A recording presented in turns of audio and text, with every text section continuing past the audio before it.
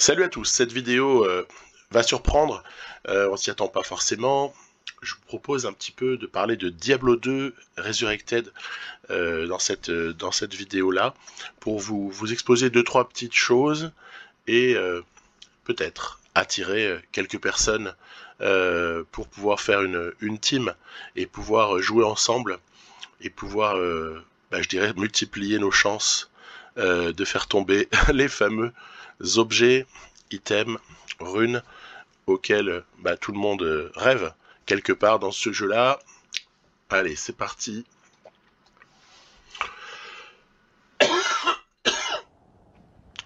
Alors, comment ça se présente? Juste, je vais donner quelques mots euh, de manière générale pour, euh, pour présenter un petit peu le, contexte. C'est du hack and slash. On a des, on incarne un personnage ce personnage euh, bah, peut aller euh, bah, du niveau 1, logique, jusqu'à au maximum un niveau 99. Et en fait, euh, tout va se jouer par rapport à tuer des monstres, remplir des quêtes, choisir un certain type de, de spécificité pour le, pour le personnage qu'on incarne. Par exemple, une Amazone euh, ici, euh, une Amazon bah, ne va pas euh, produire la même chose qu'un nécromancien. On a comme ça sept classes de héros potentiels et évidemment, donc voilà, druide de droite à gauche, sorcière, ensorceleuse, paladin, barbare, nécromancien, assassin et amazone. On a des, spécificités qui sont bien différentes entre les classes. C'est ça qui, euh, qui va produire pas mal d'intérêt en fait à ce jeu qui, prime abord, pourrait apparaître comme un petit peu euh, limité parce que c'est la résurrection en fait d'un jeu assez ancien. Mais euh, puisque au début des années 2000, hein, il est apparu Diablo 2. il y a eu ensuite Diablo 3, Diablo 4, qui n'étaient pas de franche réussite. Ça n'avait pas beaucoup plu, à, la, à la communauté même si beaucoup de gens s'étaient jetés dessus. Euh, moi personnellement j'avais boycotté, je sentais venir le loup. Et euh, ouais, ma petite spécificité par contre c'est que je joue pas en mode normal, je joue en mode extrême. C'est ce qu'on appelait avant le mode hardcore. Qu'est-ce que ça veut dire? Bah, C'est marqué, ça signifie que une fois que votre mec il est mort, euh, votre nana d'ailleurs, ben c'est terminé. Voilà, c'est terminé. Donc à partir de là, ça oblige à jouer d'une autre façon que lorsqu'on peut récupérer son corps au village quand on est mort. Le type qui, qui démarre la partie va se retrouver complètement nu, c'est-à-dire qu'il va, euh, euh à l'image de, de, ce petit euh, personnage, vous avez son petit écran de euh, où on peut habiller les personnages avec une arme, un bouclier ou alors quelque chose qui se porte à deux mains parfois. On peut aussi porter un bâton à deux mains, un casque, une armure, des gants, deux anneaux, des bottes, une ceinture et une amulette. Voilà. Et avec aussi de la place dans l'inventaire pour pouvoir éventuellement rajouter ce qu'on appelle des charmes que je vous montrerai euh, juste euh, dans un instant. Le gars, il commence avec des notes très importantes, les quatre notes de base, force, dextérité, la vitalité et l'énergie. Euh, on va avoir un impact euh, de certaines choses évidemment sur d'autres. L'énergie, elle va essentiellement être utilisée pour la mana, c'est-à-dire les points de magie. C'est-à-dire qu'on va avoir des personnages qui sont des magiciens, d'autres qui sont plutôt des combattants. Euh, qui vont avoir plus ou moins besoin de magie euh, selon, euh, selon la nature du, du personnage. la vitalité, ben, ça c'est pas très compliqué, ça va impacter l'endurance, mais surtout les points de vie. Et, et ensuite, vous allez avoir la force et la dextérité qui vont jouer des rôles, là aussi, que je montrerai juste après. Alors donc sur un petit personnage, évidemment, on est tout nu. Hein. On est tout nu, alors on peut récupérer un peu d'argent. Il y a, un système de réserve personnelle partagée qui est assez pratique, puisque ça c'est la réserve personnelle de mon, de mon petit gars que je viens de créer. Et puis après, en réserve partagée, bah, sur le compte euh, battle.net sur lequel on joue, en fait, on va avoir des runes, des possibilités de stockage d'objets. Vous voyez, j'ai des gants ici pour, pour, pour un certain personnage auquel je pense. On va avoir des armures, on va avoir des choses comme ça en réserve. une hache ici de berserker à 5 trous qui est quelque chose de plutôt utile. des mots runiques, etc., etc. C'est assez, c'est un monde assez, assez complexe. Euh, mais qui, euh, moi je trouve, euh, voilà, possède un immense, immense intérêt. C'est un, c'est un jeu en tout cas pour moi qui est avec des potentiels, un potentiel quasi infini de jeu, même si, même si, bémol à cela, et c'est ce que vous diront la majorité des gens, journal des quêtes, on va s'apercevoir qu'en fait, le jeu se décompose en trois niveaux de difficulté. Là, on est en normal. Normal quand on quand on crée un quand on crée un personnage, c'est normal de se retrouver euh, au tout au tout départ. Et puis quand on a un petit peu euh, quand on a un petit peu joué, vous avez le choix en fait. Vous avez fini le mode normal, vous avez fini le mode cauchemar. Vous pouvez jouer en, en enfer. Et ça, déjà, ça recèle un, plus grand intérêt. Euh, l'enfer étant vraiment un juge de paix dans le mode de jeu là que je que je que j'utilise. Euh, les quêtes, vous voyez, le, petit personnage n'avait aucune quête activée, c'est bien légitime. Il y a 5 actes, il y a 6 quêtes à, à chaque fois. Ça veut dire, voilà, vous avez un total de 30 quêtes à faire euh, pour chaque pour chaque niveau de jeu. Ça nous fait 90 quêtes en fait. Hein. Ce qui veut dire que au niveau du endgame, hein, comme, comme aiment bien dire les gens euh, qui qui s'y connaissent. Moi, je ne suis pas un spécialiste de ces jeux-là, mais Diablo, je connais un petit peu quand même. Euh, on pourrait dire qu'il n'y a pas vraiment de endgame. C'est-à-dire, une fois que vous avez tué Bal, c'est mon cas, c'est le dernier personnage à tuer à l'acte 5 en, enfer. Une fois que vous l'avez tué, on fait quoi? On va faire des torches, du, ce qu'ils appellent Uber Tristram et des quêtes un peu particulières qui s'ouvrent. On peut ouvrir des vaches. Les vaches, c'est un niveau secret. On tue des vaches qui sont ensorcelées la trame de ce jeu, c'est tout de même que Diablo était passé par là, Diablo le seigneur du, mal, de la haine, et euh, il a laissé sur son passage toute une flopée de monstres, et évidemment, nous, on est la personne chargée de sauver tout ça en détruisant tous ces monstres. Et le, but principal, je dirais, euh, donc désolé encore pour ceux qui connaissent, le but principal, évidemment, va être euh, l'accumulation d'objets les plus ultimes possibles. Moi, je n'en ai pas, par exemple. Hein. Sur, mon, sur mon paladin, euh, que vous voyez ici, niveau 89, il faut savoir qu'il y a un gouffre. Hein. Il est plus difficile de passer de 89 à 99 que de passer de 1 à 89. C'est beaucoup plus compliqué d'aller chercher les derniers niveaux parce que, en termes de croissance euh, d'expérience nécessaire, ça devient quasi exponentiel cas euh, à peu de choses près. Euh, voilà, on, accumule des objets. Certains vont être intéressants, d'autres, par exemple, je vais les prendre parce que je les destine à un petit personnage. Euh, une armure trouée, on sait jamais, ça peut servir. Trois trous, éthérés. vous avez comme ça des tas de petits objets. C'est ça que je trouve fabuleux à ce jeu, c'est que, en fait, chaque objet va requérir une utilité. Vous avez des formules magiques grâce à cet objet là qu'on appelle le cube Oradric. Vous avez euh, voilà une fonctionnalité pour chaque chose. Et ben tiens en particulier nommons-les hein, euh, ce qu'on appelle les runes. Les runes c'est ces petites pierres grises avec un dessin dessus que je vous montre ici. Par exemple ici je pointe sur une rune Sol.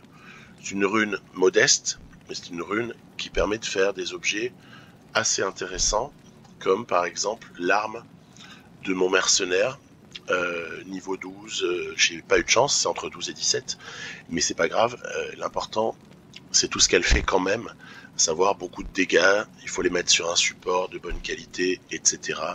etc. Mon, mon paladin que je présente ici, je, prends un petit peu le contre-pied de ce qu'on voit parfois dans les, dans les vidéos sur Diablo. Vous avez des, gens, et, et tant mieux, hein, tant mieux pour eux, mais qui vont vous présenter des, des véritables personnages impossibles à atteindre, ou, en tout cas très difficiles à atteindre, sans aide extérieure, euh, parce qu'ils sont blindés d'objets. Et que, et que ces personnages-là, pour, pour arriver à monter ce qu'ils ont, pouvez prendre longtemps, longtemps, longtemps. Hein. Moi, le mien, il est modeste. Il est modeste. Il a, allez, il a deux objets peut-être un petit peu plus chers que les autres. C'est le fameux Chaco. Le Chaco, alors ça, c'est un, c'est un must de Diablo 2. Euh, le Chaco, c'est cette, ce casque qui va vous donner plus 2 à toutes les compétences, etc. Ça a un, un, impact immense sur euh, ce que va être votre personnage en termes de bonus. De toute façon, on les voit écrits. Euh, ça va vous donner des points de vie, des points de mana, une réduction de dommages, des chances supplémentaires d'obtenir des objets magiques. C'est, considérable en fait. Euh, moi, je joue modestement en double spirit, donc esprit. C'est un mot unique. Donc, vous voyez, les runes, ça sert à mettre dans des objets qui ont un certain nombre de trous adaptés. Et ça va vous procurer des mots magiques, en quelque sorte, euh, qui vont euh, eh bien, booster en quelque sorte votre personnage et ses capacités. j'ai ça sur, un, sur, une, sur une épée lambda, hein, entre guillemets. j'ai également un esprit sur mon bouclier. La bouclier, le bouclier par contre pour mon type de paladin, là il faut absolument que ce soit une tâche sacrée. Euh, il faut jamais se laisser bluffer par ceux qui vont vous dire oh non non mais vas-y prends un autre bouclier, c'est pas grave. Non, c'est pas vrai. La tâche sacrée elle a un pourcentage de bloc qui est euh, supérieur à tous les autres et donc euh, c'est ce qui s'arrache à prix d'or sur les sites d'échange de trade euh, concernant Diablo 2. Et donc le premier objet un peu cher, c'est celui-là. Je l'avais payé genre 500, 550 FG, je pense, il y a, il y a quelques temps. Puisque je, moi, je pratique le trade sur, sur un site qui est dédié. Je vous montrerai juste après. Et, euh, et sinon, j'ai réussi à trouver mon anti-perf total, c'est-à-dire la fameuse torche paladin. Sauf que la mienne, c'est 10-10. C'est le minimum. Vous pouvez pas avoir pire que ça. Mais en même temps, c'est une torche elle a quand même les attributs d'une torche. Elle a juste pas le même bonus de caractéristiques et de résistance qui peut aller jusqu'à 20. En vérité, je m'en satisfais totalement parce que c'est juste euh, essentiel d'en avoir une à partir d'un certain moment en tout cas. Donc les deux objets les plus chers entre guillemets, c'est ceux que je viens de vous montrer. Puis après, on est sur des objets, euh, un objet intermédiaire, c'est le, c'est la ceinture. Parce que moi, je, construis mon paladin, en l'occurrence, comme je n'ai pas beaucoup de moyens, pas aller chercher Enigma et compagnie, euh, je le construis sur l'absorption des dégâts élémentaires. C'est-à-dire que euh, cette ceinture, elle va avoir une possibilité d'absorption de foudre. Ce qui fait que vous pouvez aller à un endroit où ça bombarde de la foudre dans tous les sens. Vous ne serez pas impacté et même au contraire, on va vous rendre de la vie. Ce qui est assez euh, phénoménal. Et dans le même registre, j'ai un anneau qui me fait quelque chose d'extraordinaire par rapport au froid. Il absorbe le froid, il empêche d'être gelé. Vous avez des monstres qui vous balancent du froid. Euh, et, et, et, et, au niveau de l'amulette, je fais un choix modeste également, amulette du soleil levant, Rising Sun pour les, pour les, pour les spécialistes de, de Diablo, qui va vous absorber le feu, ce qui fait qu'en fait, on se retrouve sur un paladin qui n'est pas très cher, qui euh, va par contre pouvoir être hyper performant. Il peut quasiment aller partout. C'est un, un, tank. Il absorbe. Il est construit. Euh, vous voyez des modestes bottes ici, euh, T-Ranch, euh, qui ne valent rien. Hein. Ça ne vaut rien cela. Et les, les gants euh, rangoule pour la, pour la vitesse de sort très rapide. Pour le froid également, où il y a un peu de résistance. Ce qui vous fait un total. Ah moi, moi j'ai plein de charme après. Hein je mets des charmes de force parce que je n'aime pas consacrer trop de charmes de force. Je mets même des, des trucs que normalement on jette. Hein. C'est des, c'est des, des, charmes à trois cases là. On appelle les grands, les larges, les, les grands charmes, euh, les GC, euh, qui vont avoir que de la vie. C'est pas grave. Ou alors un, qui va avoir que de la vie mais qui est plus petit mais qui est un peu plus performant, etc., etc. Je crois que dans cet inventaire j'ai que, à part la torche, j'ai vraiment que de la daube. À part peut-être mon 19 plus 19 points de vie en, petit charme à une case. Voilà, c'est vraiment pas grand chose. C'est vraiment pas grand chose. Euh, démonstration de la manière dont ça se passe, c'est-à-dire que euh, on va par exemple aller un endroit qui peut être synonyme de faire tomber des objets de, toute première qualité. Hein. Potentiellement ici on peut, on peut dropper des tas de choses. On a déjà un charme majeur. Vous voyez mon, mon petit paladin en fait sa, sa caractéristique c'est qu'il va euh, tiens on va afficher la carte voilà. Sa caractéristique euh, c'est qu'il va faire tourner des marteaux. Il va donc en fait être un magicien. Voilà, c'est c'est pas très paladin dans l'esprit, parce qu'on s'attendrait plus à un mec avec euh, une épée et un bouclier qui tape avec. Donc euh, oui, c'est vrai, c'est vrai. Faut quand même le reconnaître. Euh, voilà, hop. On a ce qu'on appelle un... Il y a quelqu'un qui traîne ou pas là? Voilà. Ah oui, il y a le Geleb de feu, il est caché par le mur. Voilà. Ce paladin envoie des marteaux dans tous les sens. Vous voyez, est-ce que ma, ma barre de vie, elle a bougé? Elle a pas plu. Ça, c'est l'absorption feu qui fait ça. Il faut penser toujours à ouvrir les coffres, c'est très important. Là, qu'est-ce qui nous est tombé? Bah, un petit peu heureux quand même sur cette, cette petite démonstration euh, totalement hasardeuse. Il y a deux tiers bleus qui nous sont tombés. Donc ça, c'est quelque chose qu'on peut éventuellement euh, conserver. On va euh, constater que le charme qu'on a pris, c'est vraiment de la daube. Après, il peut, il peut se faire cuber, mais bon, j'en ai d'autres qui ont plus de chances d'aboutir sur un bel objet euh, à cuber.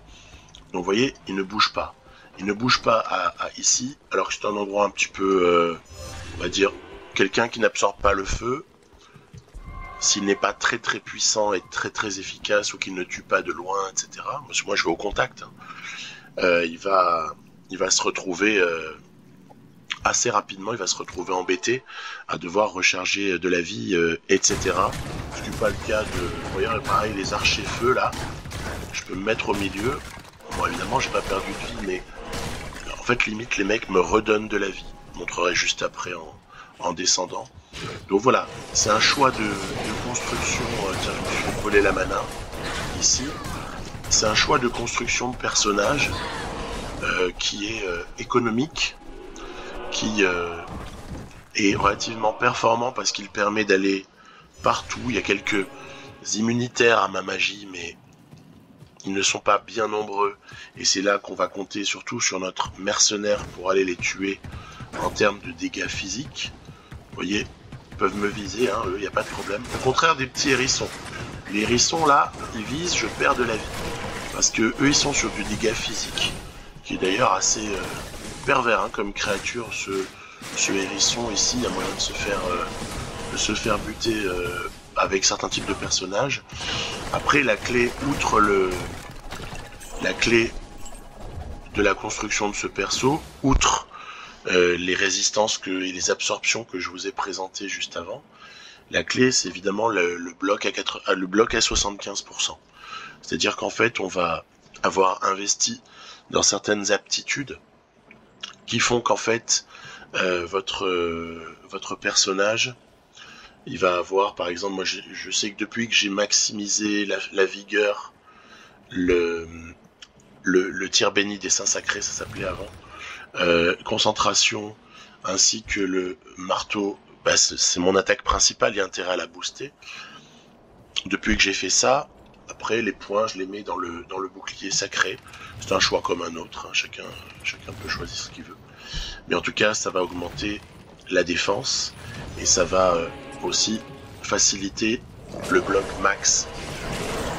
Ça va faciliter le bloc maximal euh, du personnage euh, quand vous allez quand vous allez comme ça vous retrouver frappé par des, bestioles alors ici, par exemple aussi, la petite aptitude du paladin qui fait plaisir, c'est hop la rédemption. Vas-y, je récupère de la vie juste sur les cadavres en fait. Donc c'est euh, voilà, c'est assez sympa. Euh, c'est un personnage qui n'est pas du tout euh, original, il n'a aucune originalité. mais, mais, il présente quand même des, intérêts assez, évidents, surtout quand on n'a pas, je vous dis, des moyens considérables pour, pour, pour ce stuffer, et qu'essentiellement, à part deux, trois petites exceptions, euh, on, on, va se retrouver à devoir s'habiller avec ce qu'on a fait tomber en fait, hein, ce qu'on a fait tomber comme objet. Voilà. Donc ça c'est le, le, le, petit truc. Alors il peut aller partout. Hein, il peut aller. celui-là est véritablement fait pour ouais, de la dope. Hein. On ramasse plus de dope que de bonnes choses, il faut quand même le reconnaître. La tiare, elle est moisie, et celle-là, comment elle est? Plus de nécro. Vous savez quoi J'en suis à un stade où je garde même pas. Je garde même pas le plus de nécro. Parce que ce que je veux, c'est un petit peu plus que plus de nécro. Je voudrais du fast cast rate ou alors du, à la limite du hit recovery ou des résistances. Mais voilà, il y a, comme ça des, choses qu'on ramasse au début ou des choses qu'on ramasse à l'intermédiaire et qu'ici présentement je ne vais pas euh, ramasser. Je ne vais pas les ramasser, elles ne m'apportent pas euh, grand chose en vérité. Euh, euh, rondage sacré, voilà, bon bah voilà, on pourrait la vendre, mais en fait j'en ai un petit peu rien à faire. Euh, le gold est important, hein, l'argent c'est très important, puisqu'après on peut faire des paris avec, et, euh, et les paris c'est quelque chose qui est assez tripant aussi à Diablo, donc on va dire qu'est-ce que je fais avec mon argent? Bah tu peux faire des paris, euh, par exemple en allant voir Anya à l'acte 5, on va dire, oh non je veux parier sur un circlet. Un circlet, c'est quoi? Ça va être euh, ce type de, casque, mais qui est beaucoup plus élégant, beaucoup plus euh, discret, et qui surtout a de grosses potentialités euh, de s'avérer magique et très très intéressant. C'est même pas ça que je veux. Ça c'est un bandeau. Les bandeaux c'est bien. On peut avoir beaucoup de choses dessus. Mais voilà, c'est ce que je veux. ils ont appelé ça le tortil. Ça je trouve ça un peu horrible comme mot, mais c'est comme ça on va le parier et euh, on va, vous voyez, avoir des objets qui vont tantôt bah, se revendre, tantôt se revendre. Je crois qu'on va faire toute la série. Tantôt se revendre. Allez, il y en a bien un qui va pas être dégueu quand même. Mais c'est pas dit, hein. Franchement, c'est pas dit. Hein. C'est très très la, probabilité de tirer quelque chose de génial est très faible. Hein. Euh, mais pour autant, ça recèle quand même à l'intérieur, vous voyez, celui-là est jaune. Il a de la force, il a des résistances, mais il n'a pas ce qu'on appelle les skills. Les skills, ça va être un plus de Amazon, un plus de Necro, un plus de Paladin. Il a de la marche course, mais il n'a pas, par exemple, ce qui aurait été intéressant pour ce type de personnage, à savoir de la vitesse de sort très rapide. Donc c'est comme ça qu'en fait on va faire un tri sur les objets qu'on garde ou les objets qu'on revend avec des probabilités toujours relativement faibles d'obtenir l'objet ultime, malheureusement, hein, c'est comme ça, mais par contre, euh, de vraies possibilités euh, de drop de choses assez exceptionnelles. Je vais vous faire une petite démo en direct, où quasiment sans tuer, on va s'octroyer une chance. J'ai pas dit qu'on va le dropper. Dropper égale faire tomber. Il faut excuser euh, tous mes anglicismes. Euh, dans ce type de vidéo, car le, marché de Diablo étant euh, totalement en anglais, c'est-à-dire qu'on on ne fait des échanges que en anglais, hein, avec des, des, gens de tout pays que l'on rencontre, on, se retrouve en fait à, à nommer les objets et à, à, les désigner, même à désigner tout un ensemble de choses du jeu, à les désigner quasiment uniquement par leur nom en, anglais. Hein. Donc faut pas m'en vouloir sur le, le côté euh, langue française euh, euh, complètement abandonné et, et, maltraité, je dirais, par. Allez, on va, courir un peu. Tant pis pour un des remarquable. Voilà. vous voyez, sur votre chemin, vous allez rencontrer des gars. J'en suis plus à un stade, tiens, une tiare jaune. C'est toujours quelque chose à, à identifier, ça. La tiare jaune n'est pas quelque chose qu'on laisse par terre. On regarde toujours ce qu'il peut y avoir dessus. Euh, et, voilà, donc je vais aller ici par exemple, c'est un endroit sympa, avec des coffres.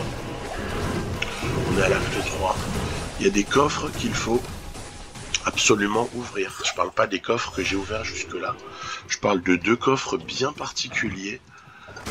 Après, en passant, hein, tu ouvres les choses. Hein. Mais je parle de deux coffres bien particuliers. Si j'ai de la chance, je vais les trouver rapidement. Si j'ai pas de chance, eh ben ça veut dire que je vais euh, galérer. Mais en même temps, quand on fait quelque chose en direct, ou en tout cas en commentaire simultané, on va toujours se retrouver en situation. Vous voyez, j'ai un peu perdu de vie là. Petite hop, rédemption, voilà, l'histoire elle est réglée.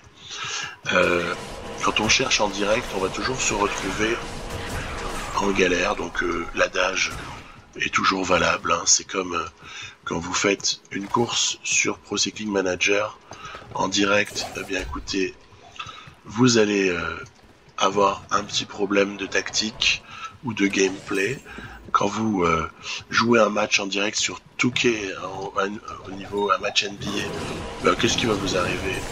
Évidemment, vous allez foirer des systèmes et vous allez être pauvre dans l'exécution. Donc euh, voilà, j'ai envie de dire, rien n'a changé. Euh, tout ça n'est pas bien grave. Tout ça n'est pas bien grave. Il y a quand même les objets qui tombent, mais vous voyez, pas grand chose qui a retenu mon attention. Jusque-là, voilà. Ouf, on a trouvé. Donc ça a été un petit peu long. Il y a un endroit comme ça ici, à l'acte 3, dans la zone de la ville base de Kourast. Les joueurs de Diablo le savent. Vous avez des coffres qui peuvent. Bah, c'est ce qu'on appelle des super coffres. Il y en a à d'autres endroits hein, dans le jeu. Super coffre, il peut dropper n'importe quoi. Donc il y a un coffre ici. Voilà, il y a un râtelier d'armes, celui-là ne va pas nous donner quelque chose de fabuleux. Et il y a euh, deux coffres là. Voilà, donc il y a deux petits mobs qu'il va falloir tuer. Très bien. Donc c'est parti. Vous voyez, on n'a pas été super heureux dans le drop. Drop, action de faire tomber un objet euh, d'un monstre sur Diablo. Hein, c'est comme ça qu'on on désigne les choses pour ceux que ça amuserait et qui souhaiteraient euh, me rejoindre, tout simplement. Voilà, donc euh, ici, vous pouvez avoir une rune vert, une rune jack qui tombe. Il n'y a pas de problème. Vous avez comme ça des endroits un peu privilégiés pour ce qui est de l'obtention de certains objets. Et euh, en revanche, on va avoir d'autres endroits qui peuvent donner des drops satisfaisants, mais avec une probabilité un petit peu moindre. Voilà. Donc, euh, pour euh, être précis, un assassin, mana, vie, bah ça, ça, ça se garde pas, en fait. Voilà. Les anneaux, des fois, quand j'ai la place, je les cube. Mais là, euh, je sais pas si j'en ai trois dont je veux me débarrasser. Non, j'en ai pas trois dont je veux me débarrasser. Sinon, les anneaux, ça se cube. Hein. On peut faire trois anneaux, trois anneaux bleus égale euh, une amulette. Les possibilités de jeu sont infinies. Je ne peux même pas les lister ici. Il existe des sites. J'essaierai de mettre en référence des liens qui sont mes véritables bibles euh, sur Diablo 2. Euh, voilà. sinon, pour ce qui est du marchandage, du trade, de ce que vous voulez, des échanges si l'on veut euh, parler ainsi, euh, on va utiliser chacun son support, hein, bien sûr. Hein. Si, vous, si vous sortez de votre game, vous allez constater quoi? Vous allez constater... Ah oui, non, bah, il faudrait aller dans le salon pour cela. Vous allez constater qu'il y a... Alors moi je suis le matin, là, donc il n'y a pas beaucoup de parties, mais en, général, vous avez des parties de gens qui proposent des échanges. Voilà. C'est ce qui s'appelle faire un échange sur... Euh, sur Battle.net. Euh, et en revanche, vous avez également des sites qui vendent d'ailleurs des objets, comme on voit la pub euh, juste à gauche. Alors les prix sont complètement fous. Hein. Et vous avez euh, également des, des endroits où vous pouvez échanger avec une monnaie virtuelle, mais qui a une vraie valeur tout de même. Hein. Je vous montrer ça de suite. Alors par exemple celui-ci, s'appelle euh, D2JSP. C'est un site euh, personnellement que je que j'utilise euh, que j'utilise depuis ben, un certain nombre un certain nombre d'années. Hein. Vous pouvez constater que si on clique sur mon mon, profil, on, va s'apercevoir que j'ai 4900 messages depuis juillet 2008. Donc c'est quelque chose de c'est quelque chose d'habituel euh, pour moi d'utiliser ce système de trade euh, avec des gens qui vendent, c'est cette petite symbolisation jaune, des gens qui vendent, qui donnent une description des objets, des gens qui recherchent certaines choses, eux aussi devront donner une certaines descriptions et des petits codes en fait sur ce site. Euh, des gens qui proposent des services ou des gens qui proposent également des price checkings, euh, c'est-à-dire pour essayer de savoir tel objet, je, ne connais pas vraiment sa valeur. Est-ce que quelqu'un veut bien m'aider à, mieux évaluer sa, valeur, vous voyez? Donc ça, c'est une, une chose que je voulais montrer. Et également, pour moi, il y a aussi un must dans ce jeu-là, c'est savoir à quoi vous pouvez vous attendre, à quel endroit. Euh, je m'explique. J'ai mon petit euh, hammer là qui euh, s'appelle un hammer, le personnage que j'ai avec les marteaux, qui n'a que 50 de MF. MF c'est Magic Find. C'est-à-dire en gros les chances supplémentaires d'obtenir des objets magiques. Il n'en a que 50% de plus. C'est mon choix. C'est volontaire. C'est parce que pour avoir ce type de résistance là et ce type de tank euh, qui passe partout et qui se fait euh, jamais tuer alors qu'il a que 2000 points de vie, euh, ouais, il faut bien faire des sacrifices. Le sacrifice, c'est sur le MF. Vous allez voir que c'est pas forcément mauvais en fait d'avoir un personnage qui a moins de MF. si je regarde par exemple quelle est ma probabilité d'obtenir alors, on va prendre un unique euh, qui, est, euh, qui est très très euh, prisé, un unique prisé comme le visage d'Andariel, par exemple. On va s'apercevoir que, vous voyez, les probabilités se situent entre presque 9, une chance sur 900 000 et, et davantage.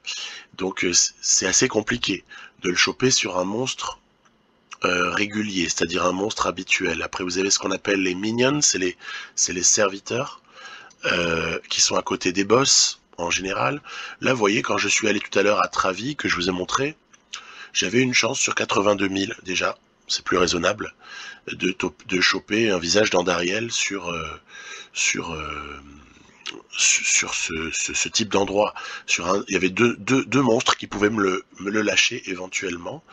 Si on va regarder sur les champions, parce qu'en fait tous les monstres sont classifiés selon ben, un type de monstre. Il y a toujours un type de monstre associé au monstre que vous croisez.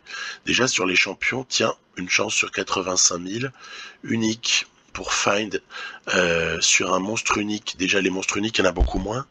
Vous allez avoir comme ça des possibilités en enfer. Hein. Quand vous voyez H entre parenthèses, ça veut dire hell. Et une chance sur 33 000, déjà, c'est plus sympa. Les super uniques, c'est les monstres qu'on va retrouver toujours aux mêmes endroits dans le jeu. Par exemple, Nil Attack peut me le lâcher avec 8000, une, chance sur 8317, ce qui est déjà bien restreint. Et puis, euh, et puis pour ce qui est des boss, ben les boss ultimes du jeu, c'est évidemment Diablo. Hein, euh, alors, euh, par exemple d'ici Diablo Q, balle Q, ça veut dire Diablo for Quest. C'est en gros la première fois que vous le tuez avec votre personnage. Il faut qu'il y ait une ou alors il faut qu'il y ait quelqu'un dans la partie qui le tue pour la première fois. Même si vous, c'est la cinquantième fois. Et là déjà, on a des chances un petit peu, même beaucoup, beaucoup plus fortes que euh, ce qu'on peut avoir sur d'autres euh, monstres. Oui, mais voilà, ceux-là sont uniques. Donc quand vous les avez tués une fois, eh ben, il faut recréer une autre partie pour le retuer une deuxième fois, quoi. Donc c'est un peu euh, la porte ouverte à tout ce qu'on appelle le farming. Farmer des objets, c'est quoi? C'est se retrouver à, accumuler les parties, à tuer, tuer, tuer, tuer, jusqu'à ce qu'on obtienne enfin le, on va dire ce après quoi l'on court. Alors par exemple une rune bear, la rune peut-être la plus chère au moment où je parle. Si je vais sur un monstre régulier pour une rune bear, tout, tout type de niveau, toujours avec mes 50 MF, avec deux players dans la partie, oui, parce que j'ai toujours un ordinateur à côté avec une mule. Une mule, c'est un personnage qui vous porte les choses dont vous n'avez pas envie de vous embarrasser une chance sur 200 000 d'aller chercher comme ça une berre euh, sur un monstre normal qui va monter à une chance sur 60 000 si c'est un serviteur à Travincal par exemple. Euh, pour ça que j'y vais souvent. Un champion, ah ça va être plus difficile avec les champions. les champions, ils ont de moindres probabilités de lâcher de runes de ce type-là. Euh, par exemple, le l'unique va être euh, aussi autour des 200 000, ce qui va pas nous changer beaucoup de ce qu'on a vu avant. En revanche, après, voilà, c'est sur les, c'est sur les super uniques comme Ephaisto, comme Nilatak, que là vous allez pouvoir avoir plus de chance. Le conseil aussi, la Travincale, là où j'étais. Euh, et vous allez comme ça avoir une proba minimale sur Duriel Quest, donc Duriel avec la quête, ou bien Isual, quoi qu'il arrive, 41 000, va vous donner des chances. Ça laisse pas beaucoup d'opportunités à l'optimisme, hein. vous, vous en conviendrez. Oui, mais c'est ce qui fait aussi que le jeu est fun. C'est qu'on va pas réussir à avoir des objets difficiles à obtenir tout de suite. Ça va même être carrément très très difficile. Je crois que jusque là, ce que j'ai réussi à dropper comme rune maximale, moi, c'est une rune mâle. C'est tout. C'est tout. J'ai pas réussi à avoir mieux que ça. J'ai eu quelques pulls, quelques humes. Regardez les, les runes, hein, euh, normal caster items. Euh, oui, je les ai pas là, mais je pas je vous les afficher. vous avez, pour ce qui est des runes, il faudra arriver à les trouver déjà. Désolé pour le, Objets normaux, bien sûr, voilà. Objets normaux, on va avoir... Ah bah tiens, nous les liste pas. Moi j'adore ce site. J'adore ce site parce qu'il est, euh, il est vraiment euh, d'une, il est hyper hyper complet. Bon là, je je je je, pas pu vous afficher les les runes. Euh, la liste est là. Voilà. Ça va de L à Zod. Évidemment, certaines sont plus rares que d'autres, mais en général, le sens de la rareté, il est croissant. Il est plus difficile de dropper une Zod qu'une L, mais il est même plus difficile de dropper une Zod qu'une Ja. Oui, mais voilà, ce qui fait le prix d'un objet, c'est pas tellement, en tout cas, c'est pas uniquement sa rareté, mais c'est également l'utilisation qu'on va en faire. El Lumfal, par exemple, c'est un mort unique avec trois runes. C'est ce que j'ai sur mon paladin. Euh, c'est très modeste là encore, mais ça donne un bonus de force qui est très très intéressant. Et puis vous avez comme ça plein de morts uniques qui vont être euh, déclinés avec, attention on va essayer de le trouver, le mot qui fait rêver tout le monde en numéro 1, Ja, It, Ber, c'est pour avoir une armure qui va vous permettre de vous téléporter. Ça, c'est considérable. Actuellement, euh, le prix est, est encore très très élevé. Euh, l'autre truc qui est sympa, par exemple, que je pourrais m'offrir si je le voulais, mais je préfère attendre de dropper les choses euh, plutôt qu'acheter avec mon, forum gold que vous avez vu juste avant sur D2JSP. C'est ce qu'on appelle le CTA, c'est Call to Arms. C'est quelque chose qui va vous permettre d'avoir en fait une euh, fonctionnalité de barbare sur votre deuxième armement qui va vous permettre de booster votre vie. Voilà, c'est-à-dire que par exemple, si j'ai un CTA moyen là, au lieu de 2000 points de vie, je vais en avoir 3200. Donc ça peut s'avérer particulièrement utile, particulièrement efficace. Voilà. Donc énormément de choses existent sur Diablo. Pourquoi est-ce que je fais cette vidéo? C'est pour essayer de, premièrement, proposer à ceux qui seraient tentés ou sont déjà des joueurs bah, de me rejoindre, tout simplement. Parce qu'en équipe, on est beaucoup plus fort. Tiens, je vais vous faire une petite démonstration. Vous voyez les possibilités de dropper une rune bear sur un boss. Alors on va, on va le mettre sur un régular pour voir. Mais bon, vous allez voir que le changement... Imaginons qu'on soit avec 8 joueurs dans la partie, c'est le maximum. Hein. Vous cherchez toujours la même chose, vous le cherchez même sur un monstre régulier. Bah écoutez, votre probabilité, elle est de 1 sur 100 000 à certains endroits. Si on compare avec la même chose avec deux joueurs, vous allez vous retrouver 1 sur 200 000. C'est énorme de diviser les chances. les probas de les diviser par deux ou de les multiplier par deux, l'impact il est considérable. Et euh, si par exemple je me disais voilà je blinde mon perso, je vais jouer avec quelqu'un qui a 500 MF, est-ce que ça va m'impacter au niveau de trouver des runes très importantes? Bah, Écoutez, on va tout de suite le simuler. Pas du tout. Donc en fait, le MF va pas avoir d'influence. C'est pour sur le, les runes, hein, qu'on soit logique. Hein. Par contre, à l'opposé, si je veux avoir... Bah, tiens, je vous ai parlé de la tâche sacrée tout à l'heure. La tâche sacrée le bouclier un peu ultime de mon type de paladin. Euh, et pas que. Donc la tâche sacrée, on va la trouver, Sacred Targe, voilà. Base item, sur un régular, sur un monstre habituel. Si j'ai 500 MF, voici mes chances de drop. Si j'ai 50 MF, voici mes chances de drop. Vous voyez, c'est pas le MF qui va vous faire trouver certains objets hyper, hyper importants à avoir et surtout très très cher puisque la finalité étant donné qu'on aura du mal à, à, dropper une berre soi-même ça va être de l'échanger. Donc ça veut dire qu'il va falloir avoir vendu plein de choses avant pour pouvoir l'échanger contre quelque chose de raisonnable.